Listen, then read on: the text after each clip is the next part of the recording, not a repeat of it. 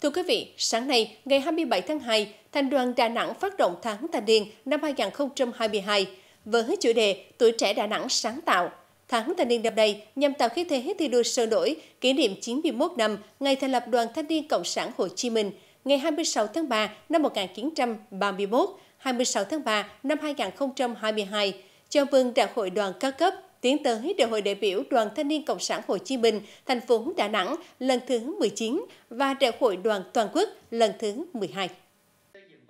Chương trình kêu gọi các cấp bộ đoàn và đoàn viên thanh niên toàn thành phố phát huy vai trò tham gia ứng dụng công nghệ mới để dành quá trình thực hiện chuyển đổi số, tham gia xây dựng nông thôn mới, đô thị văn minh, bảo vệ môi trường, ứng phó với biến đổi khí hậu, tổ chức các hoạt động an sinh xã hội, hỗ trợ đồng hành với thanh niên khởi nghiệp, lập nghiệp, phát triển các kỹ năng, mở rộng mặt trận đoàn kết tập hợp thanh niên. Đặc biệt nhấn mạnh vai trò của tuổi trẻ hiện nay, tiếp nối truyền thống vẻ vang của tổ chức đoàn, nỗ lực không ngừng trong học tập, lao động sáng tạo, bảo vệ tổ quốc, thực hiện nghị quyết Đại hội Đảng bộ thành phố lần thứ 22, nghị quyết Đại hội Đảng toàn quốc lần thứ 13. Tại lễ phát động tháng thanh niên, Ban Thường vụ Thành đoàn đã trao các công trình thanh niên cho các đơn vị cơ sở đoàn trực thuộc, gồm hai thư viện sách, hai khu vui chơi cho thành thiếu nhi, hỗ trợ sửa chữa 4 căn nhà cho đoàn viên thanh niên có hoàn cảnh khó khăn, trao tặng 30.000 cây cho thanh niên phát triển kinh tế và 25.000 cây xanh tạo bóng mát, đồng thời ra mắt các đội hình tình nguyện theo các chủ đề hoạt động tháng thanh niên.